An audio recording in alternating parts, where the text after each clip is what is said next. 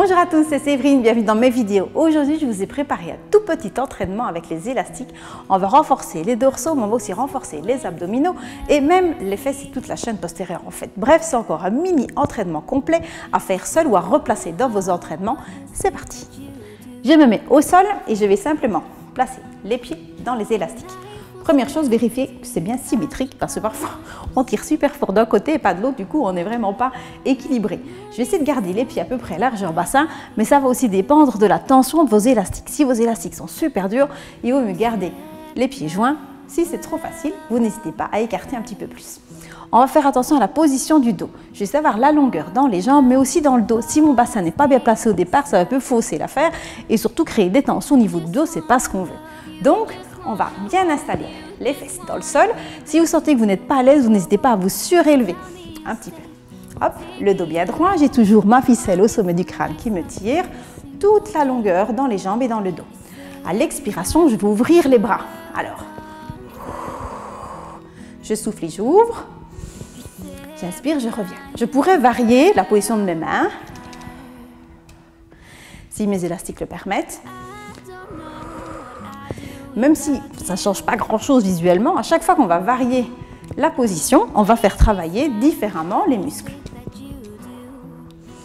Alors, toujours bien se grandir. Je peux aussi tirer sur les orteils pour vraiment allonger ma chaîne postérieure. Si ça tire vraiment trop fort dans le creux des genoux, on fléchit un petit peu plus les genoux. À choisir entre les jambes tendues et le dos droit, je préfère le dos. Donc, le dos, le ventre, on va en faire une vingtaine de répétitions. Et chaque fois que vous allez tirer les bras, vous allez essayer de resserrer les omoplates, d'ouvrir la poitrine, d'ouvrir les épaules. D'accord? Donc attention à ne pas vous enrouler. Toujours bien droit.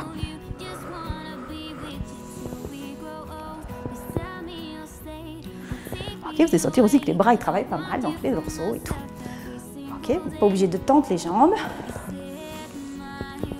on a fait une vingtaine de répétitions et on relâche. N'hésitez pas un petit peu relâcher les bras, bouger, même si c'est pas plus de l'amour, on bouge un peu les bras. On n'hésite pas non plus à mettre un petit peu les mains derrière pour relâcher le dos parce qu'on est quand même resté longtemps en position statique.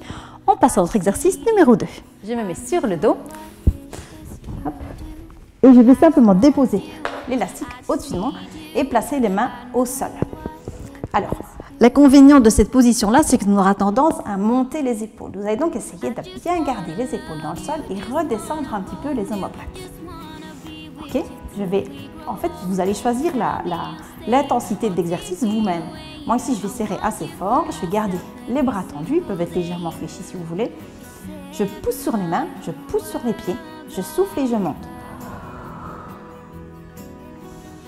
Inspire, reviens. On peut serrer les poings si on veut, c'est pareil. Ce qui compte, c'est de forcer ici aussi sur les bras pour vraiment garder les bras au sol. Inspire, relâche.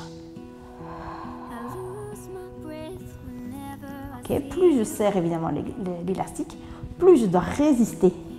Parce que mon bassin tire mes bras et moi je dois pousser les mains au sol.